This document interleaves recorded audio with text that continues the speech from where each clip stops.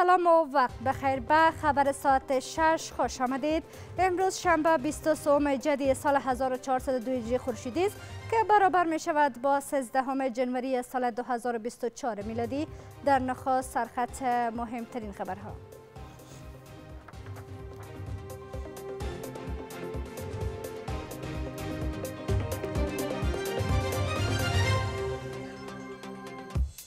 خواست تازه علمای دینی و متنفذین قومی 34 ولایت کشور از حکومت آنان خواهان بازگشایی در به مکاتب و پوهنتون ها برای دختران افغان گردیدند. به چالش کشیدن مخالفین نظام از سوی معاون سیاسی ریاست الوزرا مولوی عبدالکبیر می‌گوید که مخالفین حکومت با سرنوشت سخت روبرو خواهند شد. و آمریکا یک بار دیگر بالای ملیشه های حوسی یمن حملات نموده است. حال هم مشروع اخبار من نیلفر سروری هستم. حکومت باید دیگر در به مکاتب و پوهنتون ها را برای دختران افغان باز نماید این خواست علمای دینی و بزرگان قومی 34 ولایت افغانستان است که به نشست تحت نام صدای مردم از سوی حکومت دعوت گردیده بودند. آنان همچنین با مقامات برای پیشرفت و رشد اقتصادی کشور یک سری پیشنهادات و طرحها را مطرح و شریک ساختند. از سوی دیگر حکومت می‌گوید که تمامی خواسته های مشروع مردم را میپذیرد اما در مقابل مردم هم به خواسته های حکومت احترام قائل کنند. به نشست تحت نام صدای مردم که از سوی معاون سیاسی رست الوزرا در قصر سپیدار برگزار شده بود نمایندگان سی و چهار ولایت کشور در آن دعوت گردید که اشتراک کنندگان این نشست را علمای دینی و متنفیزین قومی تشکیل می‌داد. هدف اصلی این نشست نقش علما و متنفیزین قومی در تحکیم روابط میان حکومت و مردم خوانده شده است. در این نشست به سطح زونهای کمیته های ساخته شده بود و هر کمیته پیشنهادات و طرحهای خود را در این بخش مطرح مطرح می کرد در کنار بهبودی وضعیت اقتصادی و بازسازی کشور تاکید زیاد روی از سرگیری روند تعلیمی دختران در کشور صورت گرفت. در بخش خانم ها که مشکلات زیادی دارند از جمله بحث میراث های خانم ها معریه های خانم ها و حقوق متعلق به خانم ها و بخش آموزش و پرورش خانم ها طبق شرایط اسلامی و طبق معیارهای نظام اسلامی و اصول مقررات انشاءالله که اقدام جدی صورت گیرد. امارت دید اسلامی او عصری تعلیم ته لکه توجه سوې ده. نو په دې کې دي د نجونو او خویندو د تعلیم پر مخ باندې مکتبونه او پوهنتونونه خلاص دي موږ تاسو نه غوښتنه کوو چې د تعلیم په برخه کې اراده تاسو قوي ده. دا کم میکانیزم چې تاسو غواړئ ورته جوړ کړئ شرعي ورته جوړوي دغه باندې یو څه قوت ښکارا کوي دا ملت استا استا زه به لږ درته واضح وایم ملت په دغه شي خفه کیږي او تاسو هم به خفه کیږئ تاسو ته کار ډیر ده خیر ده د نور کارونه راواخلي خو دغه کار هم لږ زره د میز په سر راکېدی او لږ قوت ښکاره کوي خلکو ته ښکاره کوي پنځه میاشتې ښکاره کوي یو کال بعد ښکاره کوي پنځه کاله بعد ښکاره کوي ولی په داسې یو مبهم حالت کې د تعلیم په برخه کې دا مبهم حالت بیا دا واټن زیاتوي بیا دا واټن زه نسم جوړولی دا واټن دا علما بیا نسی جوړولی دا واټن بیا نظامونه نسی جوړولای. د افغانستان ټول نظامونه چې لمنځه تللي دي ولس واټل په اساس لمنځه تللي دي. در این حال امارت اسلامی این خواست ها را صدای قلب مردم می داند سرپرست وزارت اطلاعات و کلتور می گوید حکومت مسئولیت دارد تا به خواسته های مردم رسیدگی نماید. یقینا دغه کم خلک چې راغلي دي را د کوم ځایونو راغلي د لري وطنونه دی د ولس د زړه نه راغلي دي او باور وکړي چې د دې خبرې وزرونو ته ځي. او په دې هم پوسي چې څوک د دې خبرې اوري یا ورته رسي ان شاء الله هغه د دغه مشکلات او د دغه ډاکټران شپېږي چې دغه مشکلات موږ د وطن کوم مشکل دي او څنګه باید حل شي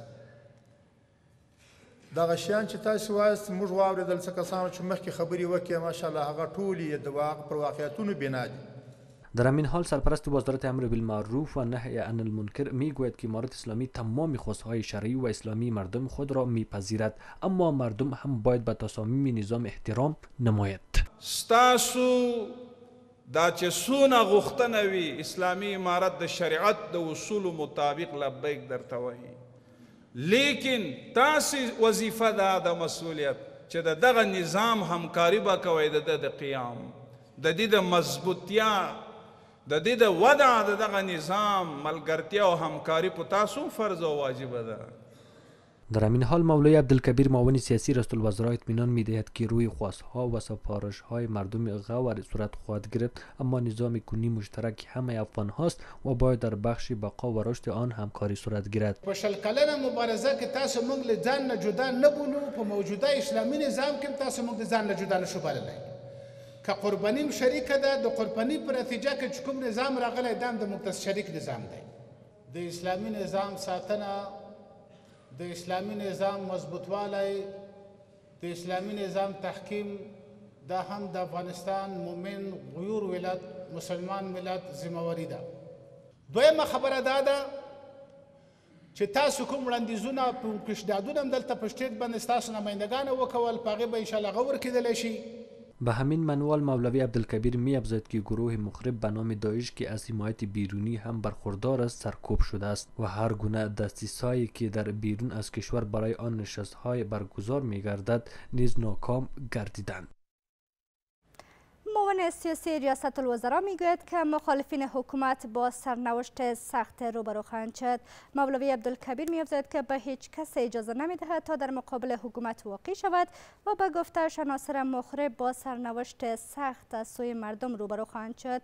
مولوی عبدالکبیر اطمینان می‌دهد که حکومتش به شمول آمریکا و روسیه خواهان روابط نیک و حسنه با تمام کشورهاست و قصد تهدید به هیچ یک از کشورها را ندارد. از سوی دیگر مقامات دیگر حکومت کنونی را همه شمول می دانند و می گویند که بر نظام فراگیری که خارجی ها در آن سهیم باشند نیاز ندارند.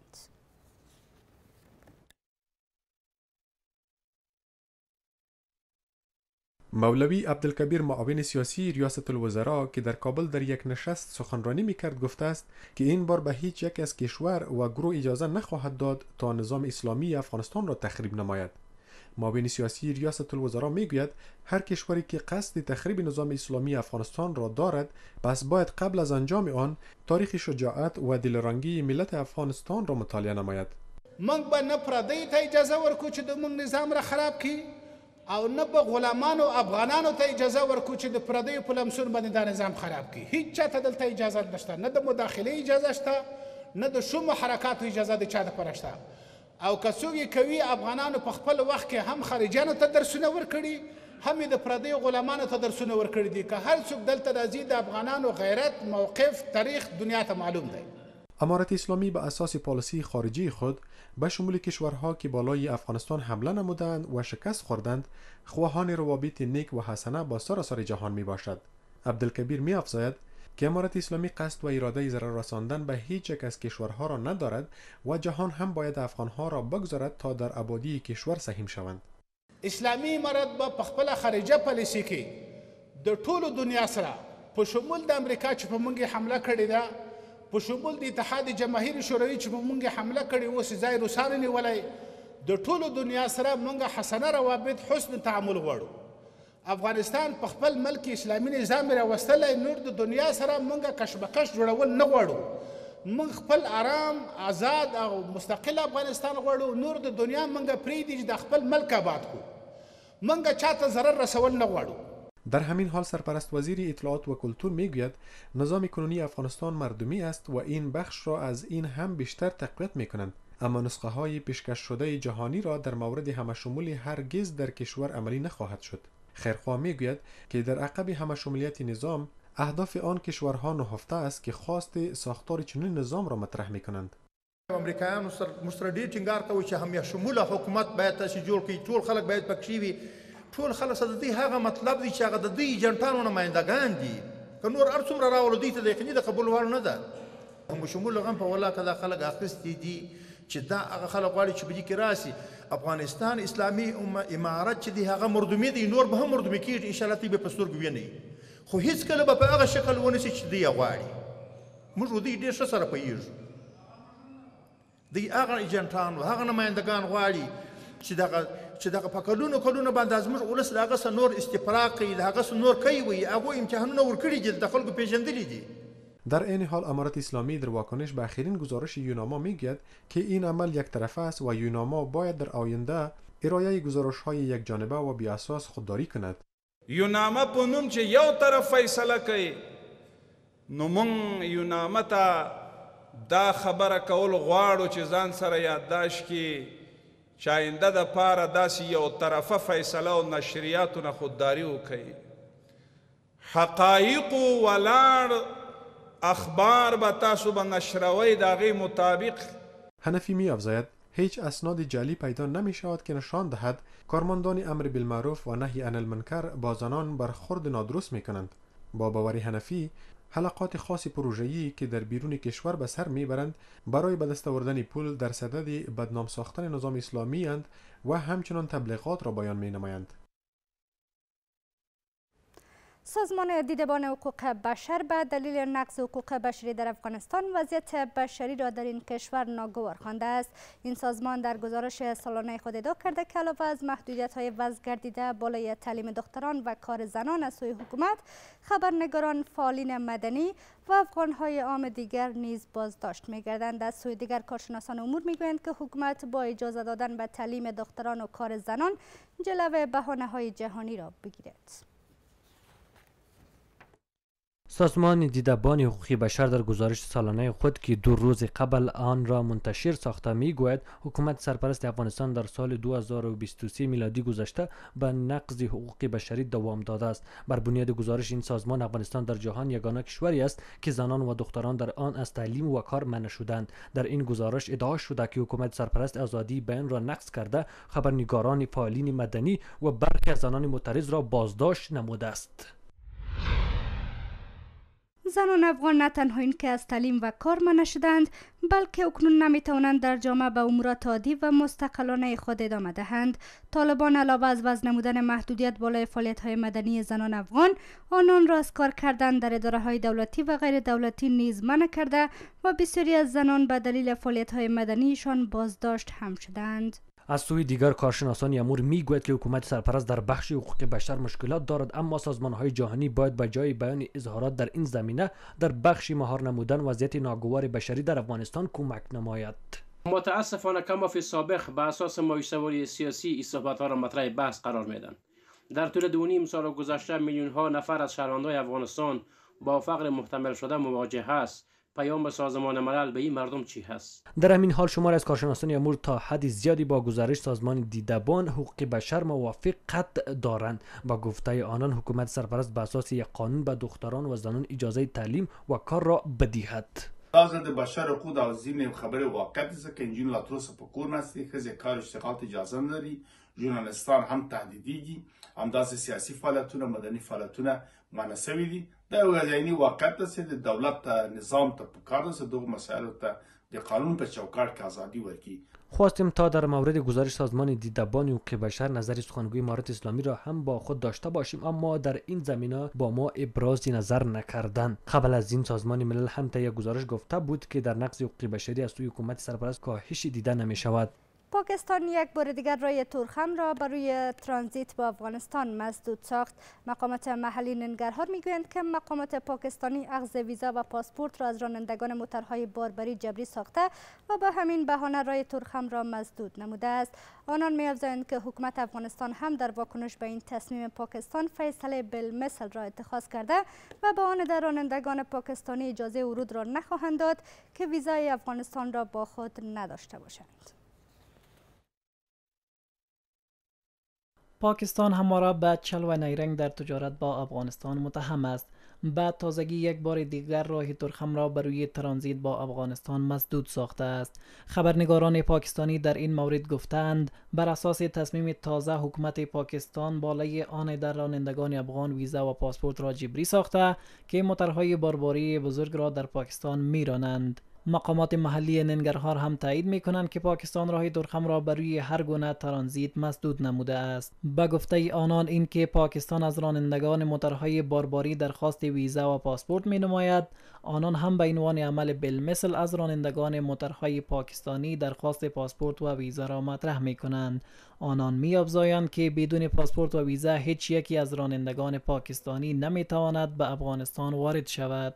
ترخم دروازه د شپې پر لس بجې باندې بنده سوې ده. نو د دوه درو بهانو وروسته دوی دا خبره وکړله. اوله بهانه یې دا وه چې هغه مریضان چې په ټوکن باندې پښتونخوا ته اوړي هلته تداوي کیږي. هغه به هم له دې وروسته پاسپورت او ویزه در عین حال کارشناسان پاکستان را ملامت می نمایند که همیش به بحانه های متعدد در بخش ترانزیت با افغانستان مشکلات را ایجاد می کنند. آنان مسدود شدن راه ترخم را به ضرر هر دو کشور می خوانند و برای جلوگیری از چالش های ترانزیتی در دراز مدت خواهان دریافت راه های بدیل به جای پاکستان از حکومت سرپرست هستند. د افغانستان او پاکستان ترمنځ سوداګریزې اړیکې دا د دواړو هیوادونو لپاره مهمه دي په تاسو سره باید وایو چې د افغانستان او پاکستان ترمنځ اقتصادي او تجارتي اړیکې همیشه د سیاسي اړیکو ښکار شوي دي. د دې لپاره چې په اوږد مهال کې موږ دغه ستونزه په ټوله معنا باندې حل کړي په کار ده چې د دواړو هیوادونو ترمنځ یو کمیټه ایجاد شي. او د دې کمیټې په اساس باندې د افغانستان او د پاکستان ترمنځ تجارتي او اقتصادي اړیکې سړي دا تعریف شي تر هغه چې پاکستان سره زموږ اقتصادي او تجارتي اړیکې تعریف شوی نه موږ به وخت نه وخت دغه سي مشکلات او ستونزو سره به مخامخ کیږو. در همین حال برخی دیگری از کارشناسان عمل بالمثل حکومت سرپرست را در واکنش به تصمیم پاکستان می ستایند و می افزایند که با این امر ممکن پاکستان متوجه اشتباهات خود گردد. کله هم که د زراعتي محصولاتو د رسیدو په وخت کې د افغانستان څخه زراعتي محصول لکرخي هغه غړی اوړي نو پاکستانی حکومت ور باندې تعرفي پورته کوي.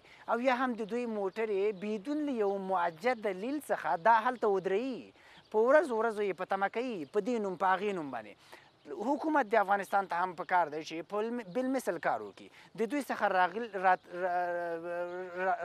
چې کوم واردېږي کوم تجارتي توکي په هغه باندې تعرفي پورته کی په هغه باندې کوم ډول باندې چې پاکستان حکومت کوي عین ترتیب باید پکار د افغان حکومت هم تر لاس لاندې ونیسي تر څو پورې چې دوی ته یو څه اقتصادی ټکان هم ورکړل شي. این نخستین بار نیست که پاکستان راه ترخم را بر روی ترانزیت افغانستان مسدود می نماید بلکه قبل از این هم این کشور برای به میان آوردن چالش صد راه ترانزیت افغانستان راه ترخم را مسدود ساخته و به میلیون ها دلار خساره را به تجاران هر دو طرف نیز وارد نموده است. حکومت از بریتانیا خواسته تا به جهان تصویر مثبت افغانستان را پیش نماید. معاون سیاسی ریاست الوزرا در دیدار با شاردفیر بریتانیا گفته است بریتانیا می تواند تا خلاف ذهنیت حاکم به جهان تصویر مثبت افغانستان را پیش کند. کارشناسان می‌گویند که حکومت سرپرست هم در کنار افغانها درخواست مشروع جهان را بپذیرد تا زمینه برای تعامل با جهان فراهم گردد. از حاکمیت مجدد امارت اسلامی در افغانستان در حدود دو سال می گذرد اما از سوی هیچ یک از کشورها تا کنون به رسمیت شناخته نشده است. این امر فضای بی باوری را میان افغانستان و شمار از کشورها به میان آورده است. برخی از کشورهای تحکیم روابط سیاسی خود را با حکومت سرپرست افغان مرتبط به شرایط می خواند که آن را به حکومت سرپرست پیشکش نمودند. معاون سیاسی رئیس الوزراء و شاهدافیر بریتانیا برای افغانستان هم روی همین مورد صحبت کردند و در این دیدار از بریتانیا خواسته شده تا تصویر مثبت افغانستان را به جهان پیش نماید. امارت اسلامی به شمول بریتانیا خواهان تعامل مثبت با جهان است بریتانیا تصویر مثبت و واقعی افغانستان را به جهان پیش نماید در این حال کارشناسان میگوید که جهان با افغانستان صادقانه به پیش نمی رود بلکه در صدد تعقیب اهداف خود است آنان اضافه می کنند اگر جهان بخواهد که حکومت سرپرست افغانستان را به رسمیت بشناسد پس باید با مسئولین آن رو در رو روی آن نگرانی های صحبت نماید که از افغانستان دارد اوس که واقعا نړیوال غواړي په افغانستان کې واقعي سوله تامین شي او د طالبانو حکومت په رسمیت وپیژندل شي. دوی باید نړیواله غونډه دایره کړي او په دغه غونډه کې د امارت اسلامي مشرتابه هم باید ګډون وکړي ترڅو د یو بل سره هغه نیوکې چې پر یو بل باندې لري هغو ته د حل لاره پیدا کړي. مسئله به رسمیت ساختن حکومت ها در سطح بینالمللی مستلزم پذیرفته شدن یک قوانین و میثاقهای بینالمللی باشد در سطح جهان پذیرفته شده و کشورهای مختلف دنیا مطابق آن خود را نمودند. در زمان در صورتی که حکومت سرپرست فعلی افغانستان هم جای خود را مطابق همون معیارها و حکومت دائمی و منتخب مردم افغانستان مطابق با خواست اراده آنها و مطابق با کنوانسیون ها و میثاقهای بینالمللی اما عیار نکند. قوانین سخیرانه علیه زنان دختران افغانستان را از میان نبرداشته در مورد حقوق بر رسم شخصان این حکومت و ادامه کارشان هرگز مورد قبول جمعی جایی نبوده. اما برخی دیگر از کارشناسان درخواست دارند که حکومت سرپرست افغانستان هم باید برای کسب مشروعیت جهانی در برخی از پالیسی های خود نرمش بیاورد. بیا هم اسلامي امارت چارواکو نشوای کولای تر دې دمه پورې خپل اداره خپل دولت جوړښت هغه د سرپرستۍ څخه وباسي هغه د یوې ملي شورا له لارې نه د ولسي مشروعیت تر چتر لاندې راولي د اساسي قانون نه لرلې بله تشه ده. په لویه کې د ولس ځای په ځای کېدل په دولت کې د دولت په پریکړو او تصمیمونو کې هغه تشې دي چې لا هم نیمګړي پاتې دي. ما ته ښکاري دا ښیي چې موږ افغانان کور دننه خپلې ستونزې کشالې حل کړو د مشروع حکومت رامنځته کولو لپاره ولس سره همغږي وکړو. د ملي وثیقې اساسي قانون رامنځته کولو په برخه کې تکل وکړو. اسلامي امارت ته پکار دی چې په خپل تګلاره کې. یو وارې بیا بیا کتنه وکړي او همداسې ځینې مسایل دي چې هر کله نړیوال ټولنې بهانه کوي لکه د خزو د کار کولو مسله یا د انجونو د مکاتب او د پوهنتونونو مسله ده. باید هغه په بین الافغاني جرګه کې حل شي او نور د نړیوال ټولنې ته بهانه پاتې نشي چې با گفته کارشناسان بازگوشهایی در بی مکاتب برای دختران اجازه کار برای زنان در اداره های دولتی و شخصی و همچنین از میان برداشتن محدودیت های وضعگرده بالای افغان های عام از جمله مواردی که روی اعتمادسازی جهانی بالای حکومت سرپرست افغان می تواند کمک نماید. ریاست پاسپورت از کار روی ساخت دو مرکز تازه برای توزیع پاسپورت در کابل خبر می دهد. مسئولین ریاست مذکور می گویند که کار را روی ساخت چنان طرح آغاز کردند که بر اساس آن در کابل شمار مراکز توزیع پاسپورت برای متقاضیان افزایش می یابد. آنان می افزایند که سلسله توزیع پاسپورت به طور شفاف جریان دارد و سال گذشته صدها کمیشن کار و جلکار را به ارگانهای عدلی و قضایی معرفی کردند. ریاست پاسپورت به روز چهارشنبه گذشته سلسله اخذ پاسپورت از طریق آفلاین یا درخواستنامه های کاغذی هم آغاز کرد. مسئولین ریاست مذکور می‌گویند که این سلسله را به هدف ایجاد تسهیلات برای متقاضیان پاسپورت را آغاز کردند و تنها چهارشنبه گذشته در حدود 20 هزار عرایز کاغذی را به دست آوردند که کارهای آن را به سرعت بررسی میگردد. په لومړی ورځ زرګونه کسان راغلي وو چې هغې جملې څخه موږ شل زره کسانو ته سپینه رایز د دوی راواخیستل او ټوکن مو ورکړل په دوی مو هغه ټوکنونه وویشل د ورځې ټوکن د هغې جملې څخه هغه رایز ټوکنونه مونږ تر ډیره تر کار لاندې نیولي دي نن د اونۍ لومړۍ ورځ د هفتې ورځ د هفتې د ورځې ټوکن چې کوم هیوادوال ترلاسه کړی و هغه ټوکن تر کار لاندې و او نن یې رایز وویشل شول هیوادوال راغلل پیسې څوک ته ویلې وي څوک نور بعدی ته مراحل کوي نو خپل عرایز ترلاسه کړل. رهبری ریاست پاسپورت روی ساخت چنان طرحی کار می نمایند که با تکمیل شدن آن دو مرکز تازه توزیع پاسپورت در کابل ساخته خواهد شد. با گفته پتمن هدف از ساخت دو مرکز توزیع پاسپورت در کابل ایجاد تسهیلات در بخش توزیع پاسپورت برای متقاضیان می باشد ټول تخنیکی چارې بشپړې کو هغه کافي سټاف ورته برابر کو هغه کوم مسایل چې ورته اړتیا ده هغه ولرو.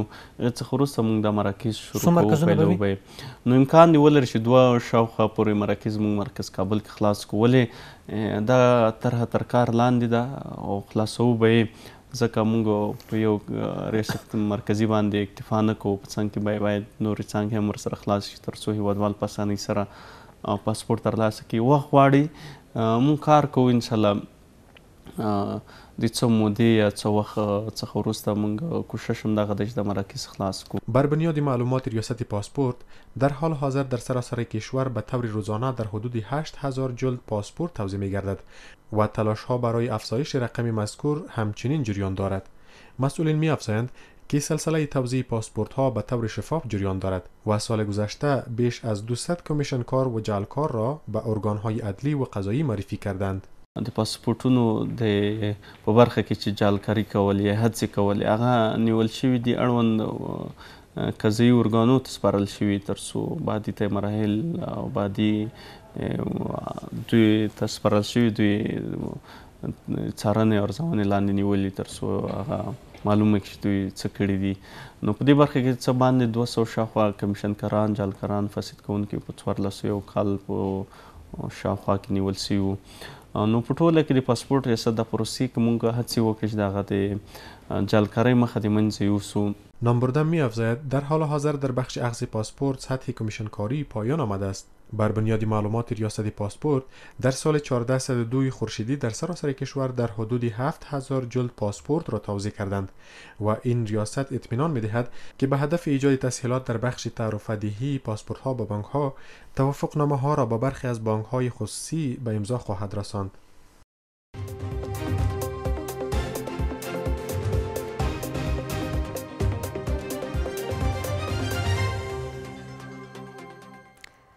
هم چند رویداد مهم از جهان. آمریکا یک بار دیگر بالای ملیشه های حوسی یمن حملات کرده است. مقامات آمریکایی گفتند که سیستم رادار ملیشه های حوسی یمن را با راکت از بین برده تا بتواند با آن جلو تهدیدات گروه مذکور را در بحیره سرخ بگیرند. یک روز قبل از این بریتانیا و آمریکا مشترکاً بالای اهداف ملیشه های حوسی یمن راکت ها را پرتاب کردند. از سوی دیگر در حملات نیروهای اسرائیلی بالای غزه ده ها تن کشته و زخمی شدند. آمریکا بر برخی از شرکت های روسیه و یک مقام این کشور تحریم ها را وضع نموده است. وزارت امور خارجه آمریکا می‌گوید که این تحریم ها را بالای برخی از شرکت ها و یک مقام کشور روسیه بعد از آن اعمال کرده که روسیه در جنگ با اوکراین از کره شمالی راکت های بالستیک دریافت کرده است. اعلامیه که از سوی وزارت این کشور منتشر شده گفته است که در بخش جلوگیری از همکاری های نظامی کره شمالی با روسیه هر گونه اقدامات را انجام خواهد داد. بر بنیاد گزارش ها روسیه این راکت ها را به تاریخ 30 ماه دسامبر گذشته برای جنگ با اوکراین از کره شمالی دریافت کرده بود. و خبر اخیرین که بریتانیا توافقنامه امنیتی را با اوکراین به امضا رسانیده است. ولادیمیر زلنسکی رئیس جمهور اوکراین می‌گوید تا زمانی که اوکراین عضویت ناتو را به دست میآورد توافقنامه مذکور نتایج خوبی را در پی خواهد داشت. از سوی دیگر ریشی سوناک نخست وزیر بریتانیا کمک های جهانی را در حمایت از اوکراین در جنگ نزدیک به دو سال با روسیه مهم خوانده است. ریشی سوناک می‌گوید در سال آینده با اوکراین به ارزش 3.19 میلیارد دلار کمک های نظامی را انجام خواهد داد. نامبرده توافقنامه امنیتی را نه تنها برای اوکراین بلکه یک گام خوب و نیک به سراسر اروپا خوانده و خواسته است که جهان باید با اوکراین تا زمان به همکاری های امنیتی خود دوام دهد که این کشور عضویت ناتو را به دست آورد.